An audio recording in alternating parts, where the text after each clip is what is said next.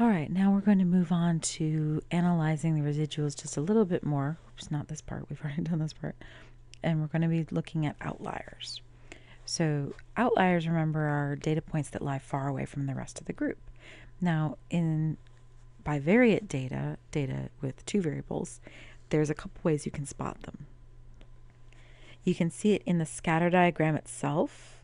Um, and this picture is really small, but let me zoom in for just a second, if I can. There we go. All right, so it can be a little dot that's kind of far away from the rest of the group. Or um, in a residual plot, you can still see it. He's far away from the rest of the group. Or if this is a different residual plot, this is a box plot of the residuals. And again, you can see the dot way over there on the right. So that's a few more ways to identify outliers. So I have the following plots show airline industry revenues over various years. Now, what year was an outlier? Now, this is the scatter plot over here on the left. This is the residual plot on the right. But hopefully in both of them you can spot the outlier from a mile away. And I'll actually insert a little circle around him so you can see him. He's right there. No fill for you. There we go. So that's where the little guy is, the, the outlier. Now, what year was that? Well, it was 2002. Um, um, it is far lower than the rest of the data points. That makes sense because 9 11 2001 was kind of at the end of that year. So it, the impact wasn't really felt by the airline industry until 2002 when a lot of people weren't flying on planes. Would a linear model be appropriate for this data? Oh, heck no. right? Remember that residual plots, you don't want to see a pattern like this. And if you take out that outlier, this is a total U shape. That's no good, right? There's definite U shape pattern, so a linear model is not appropriate. All right. Now, there are special kinds of outliers called influential observations. So, in order for an, an observation to be influential in statistics, it has to greatly affect the slope and or the intercept of the least squares regression line. Typically, this is a point that exists um, relative to both, well, it's really usually the explanatory variable. It's way out in the x direction, right? Far away in the explanatory variable direction. And in the y direction, it's off the path. Now, what do I mean by that? Well, you have these points right here, and they form a path. And if your, well, if your y variable, actually, I think the easier one to see is b. If you've got these points that are forming a path, if that outlier is still on the path formed by the other points, then even though he's an outlier for sure, he's not influential because he wouldn't cause the slope of the line to change greatly if all of a sudden that dot disappeared. So, but I'm getting ahead of myself here. So let's look at A for a second. A is not influential. The reason being because it's not far away in the x direction. You have to see kind of a big gap over here on the left or a big gap on the right for it to even be considered influential. And this is not influential. Okay? He's not far away. He's above for sure, but he's not far away to the left or right. All right, letter B is not influential because even though he's far away to the right, see that big gap in there? He's on the path the other dots make. So that's no good to us. That's not influential. What about C? Now, C, I drew two lines just to give you a sense. The blue line here is just the points um, up here, the blue dots up here making that line. And then kind of a red line to include this pinkish dot down here. And what happens is when that pinkish dot gets thrown in the mix, the line kind of tilts over to accommodate for it. So this outlier is far away in the x direction, far to the right, but it's also off the path that the other dots create. That's very much an influential outlier. Okay. In other words, I wrote it down here, that outlier greatly affects the slope of the model. That makes it influential. Now D is the best kind because I gave you the lines, which is always nice. So I drew the lines for you and you can see that that year 2002 was not influential, at least as far as statistics influential definition is concerned, right? So obviously that had a big impact on the airline industry, but it did not greatly affect the slope of these lines, which is all I care about for our definition. So those slopes are not very different from each other, so that's not an influential point.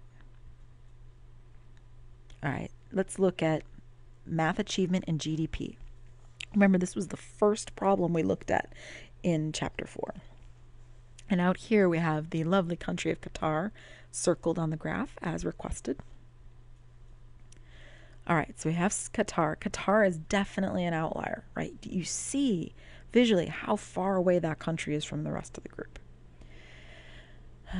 Do eighth graders in Qatar perform well in this test? No, not very well at all, because they are far away from the rest of the group. They only scored about 310, and like the SATs, it's out of 800. Um, so they didn't. They're not performing very well. They're doing less than 50% on average.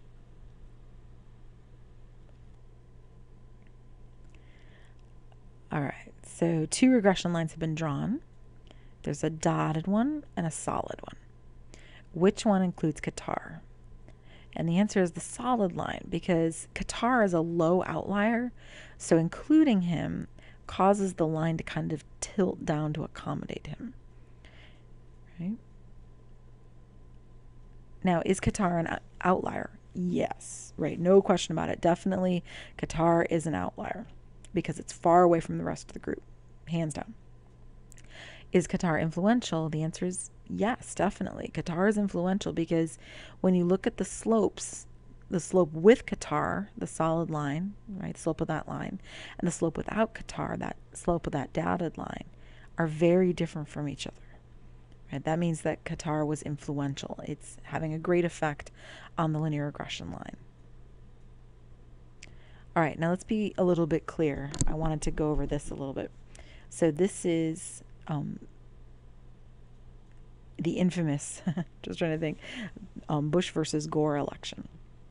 So, if you might remember, um, in Bush versus Gore, in a particular county in Florida, there was some confusion over the ballot. Um, after it was all over, it was kind of a, you know, mess, and people kept counting ballots and counting ballots and counting ballots for days, and the race was too close to call, and it became a, a national crisis, and eventually the Supreme Court stepped in and um, decided to stop seesaw counting, and then um, it was certified for Bush, and George W. Bush became president.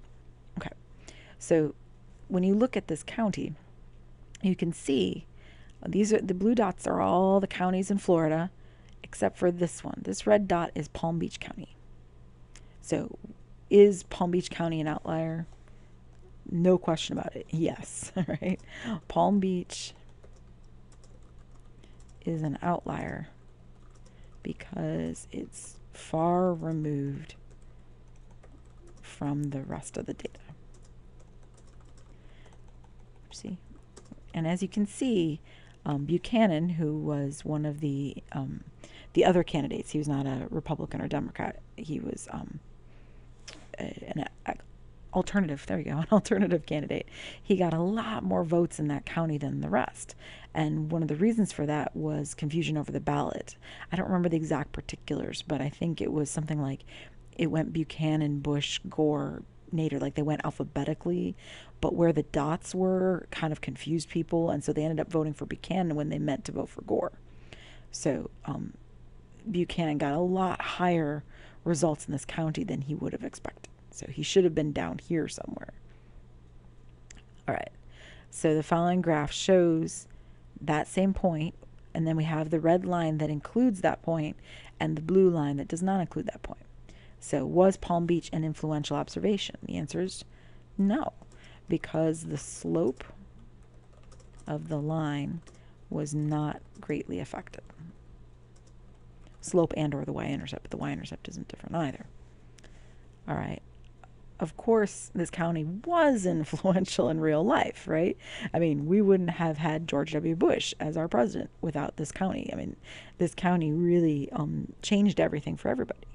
So, if that's the case, right, when, let me put it this way, when we discuss influential in statistics, we mean a very narrow definition of the term um, i.e., um, significantly changing or affecting, I guess I should say, affecting the slope and or the y-intercept. That does not mean that the value is not influential in other ways. Okay, it's sort of like when um, way back. Hold on, let me go way back to the beginning. Oops. Oh, hold on. There we go. Going back. There we go. Right here. Nope. Wait. No. I'm getting there. Aha, there it is. So way back here we talked about there was no relation. But and I made the point then that's like it's not like yeah, there's no statistical relation, but there's a whole bunch going on here.